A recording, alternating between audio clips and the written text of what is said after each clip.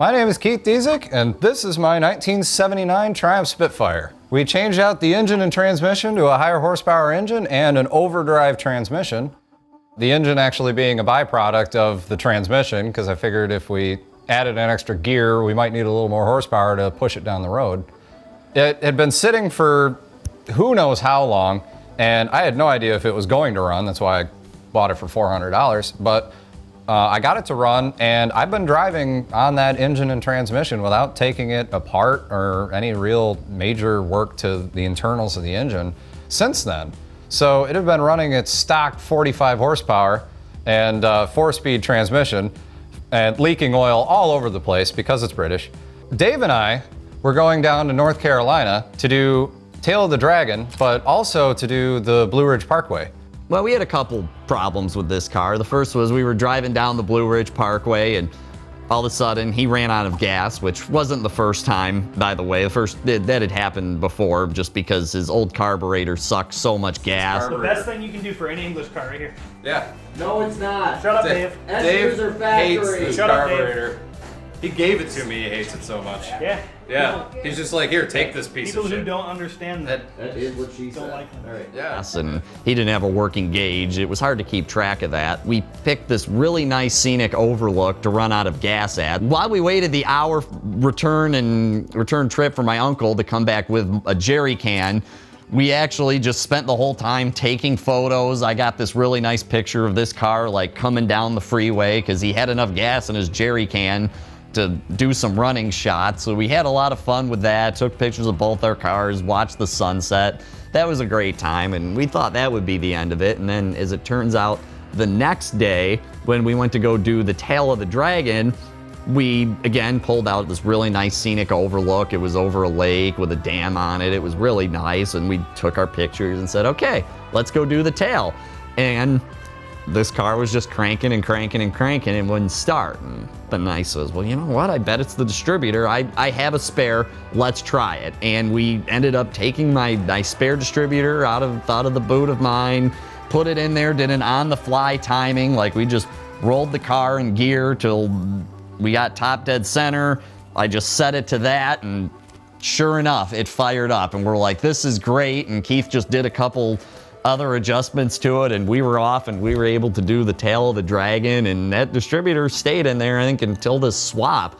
The reason we wanted to do this, uh, especially here and in one day, is uh, we've all watched garage shows growing up, or even now. I haven't quite grown up yet. And, uh, you know, Roadkill, Mighty Car Mods, all those ones, you know, they, they seem to throw everything together and it just seems to work.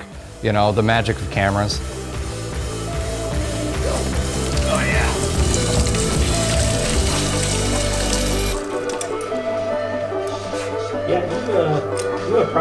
Motor here.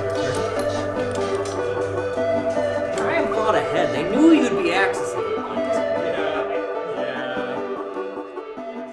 Because I think, as Keith stated, we grew up watching this stuff on TV. You know, you watch these people fabricating stuff and they're welding stuff together, like they're gluing it together with hot glue gun. Like, oh yeah, it looks easy, cool. You grow up and you start learning it, and, and then you meet people like this who are into it too. So it's like, well, you have this task that you need to have done. You're gonna do this engine swap. We know you're gonna do it. Why don't we all do it? they're crazy enough they like to drive a lot. So if I say, hey Keith, bring your car over here and let's do this in my garage, I bet he's gonna do it. He did it. I can't remember when I got the idea or what brought it up, but I knew he was gonna be doing the engine swap soon. I knew his engine was done, I knew he had his transmission, and we were talking about it, I think. Why don't you just bring it over here and we'll just do it in a day? Because uh, it was right around the same time Dave had put a new engine in the Jaguar. The entire day he was texting us pictures throughout quarantine. We're still working and they're not. And he was sitting there uh, wrenching the Jaguar all day. And next thing you know, two hours later, there's a new engine in it. I'm thinking, oh, well, we three guys, three or four guys, we could do that in no time. So why don't you bring your bring your car over here and we'll we'll do an engine swap in a day, and then we'll go somewhere. We'll road trip it, just like Roadkill. And they did.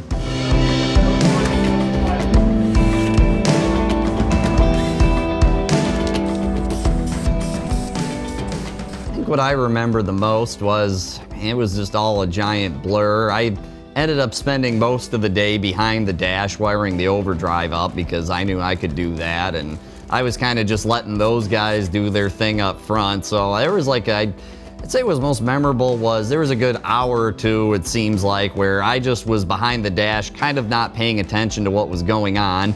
And they were like, okay, we're ready to go. And I said, I'm ready to go. And we took it out. And after all that sweat and everything, we probably spent, I don't know, about a half hour, 45 minutes trying to turn it over. And it just wouldn't start. And I think we may have had differing opinions on why. And I said it was 180 out. And I forget what exactly it was, but I think when we finally got the thing starting and it roared to life was the most memorable part. It was just all that came together and we felt like we'd actually succeeded.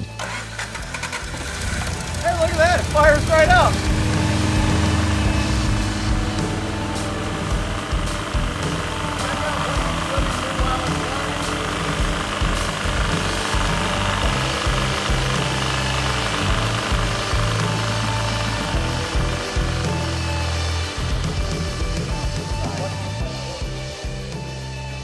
Um, we were planning on bringing the car out here.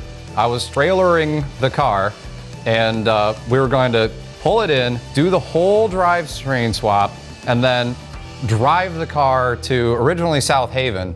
Um, it was our plan just to get it on the road and just to prove that we could do it, you know, just to just to put ourselves like, yeah, we're we're a garage show now. And uh, what actually happened was uh, pure roadkill. Uh, we see now that they don't they don't script stuff. You know, they break down on the side of the highway like, oh, this is so terrible. Oh, we got to fix this, and it's like, ah, yeah, they probably set that up. No, they didn't set that up. Uh, point being, my engine didn't didn't turn out so good after we tried to fire it up.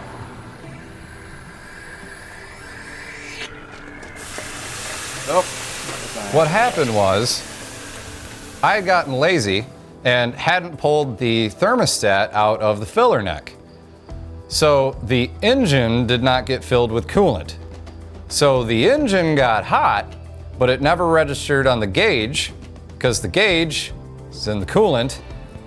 And by the time the coolant actually reached the engine, it was so hot that it boiled it immediately and it warped the head. It lost all compression, and I had to take the head off and resurface it and put a new gasket on it, and that's why it's actually running today. But on the day that we did it, it superheated, melted down, and there was no way that was going to, to finish. That, that broke me. I, I was this close to just pushing the car into the weeds and lighting it on fire. It was, it was bad. I still feel kind of bad about it, to be perfectly honest, because the thought had crossed my mind. Keith and Joe were doing a lot of the big wrenching, so exhausts, engine mounts, getting stuff lined up, intake going on. Um, I was screwing around with some little plumbing jobs. I remember having to screw with some wiring, mounting the ignition coil, a bunch of little odd stuff. And then anytime Dave needed a tool, I was the guy finding a tool or making a tool. I have bunch, we made a bunch of tools that day, a punch out of an old bolt and some other stuff. Just having to come up with stuff to get these jobs done and to get them done quickly because we felt like we were under some big kind of pressure and it was really just pressure on ourselves to get this done. And the thought had crossed my mind, hey, did anybody burp the coolant? Did anybody, I saw coolant go in, but generally you jack up the front of the car, you get the radiator to the highest point, and this radiator sits kind of funny. So it's like, you know, the thought had crossed my mind, we gotta burp the coolant. And before I could even make another thought to act on that, it was, hey, let's do this real quick, or I need to drill this hole, or something happened. And that went out the window. Next thing I know, car's getting pushed outside and we're trying to start it. Cool, all right, car's getting started. What are we doing next? And then, you know, car gets running. We run into problems with this distributor being 180 out and, oh, now the spark plug wires are on backwards. And now there's an oil leak. so there was a lot of distracting factors and five people running around all doing some, trying to make this thing go.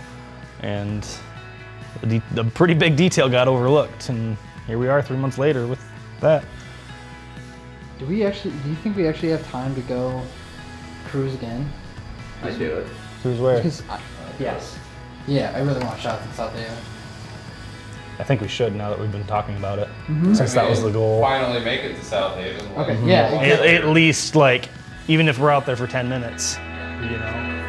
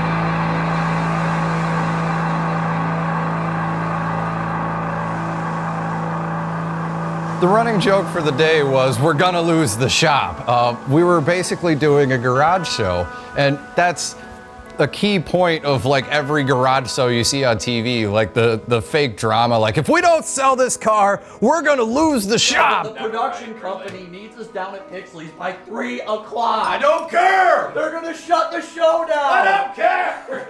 We're gonna lose the shop. Yeah, we're gonna lose the shop if we're not at Pixley's by 3. That was our running joke that we're going to lose the shop if we don't drive this to South Haven for the day. And it started off as a joke. I almost blame we're going to lose the shop for melting the engine.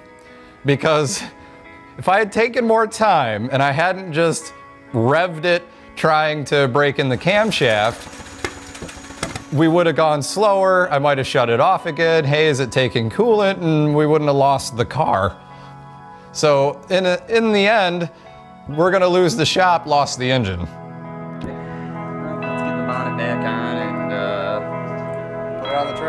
fight another day.